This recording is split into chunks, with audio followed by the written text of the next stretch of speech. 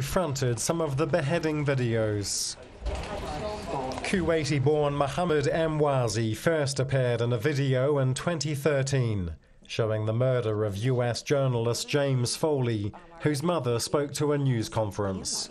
He did have the benefits of a, a comfortable upbringing, and yet he's using his gifts and talents for such hatred and brutality. Cameron, the British Prime Minister is defending UK intelligence services amid reports Emwazi was known to them for years.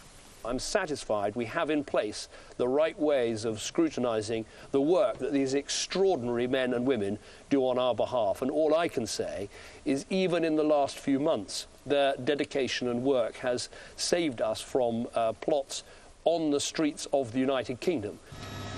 Emwazi studied computer science at the University of Westminster, but came to the attention of the intelligence services in 2009.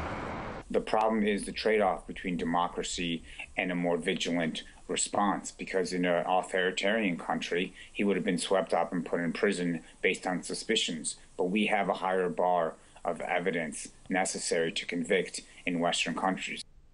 Emwazi is thought to have fronted videos showing the killing of five US and British hostages.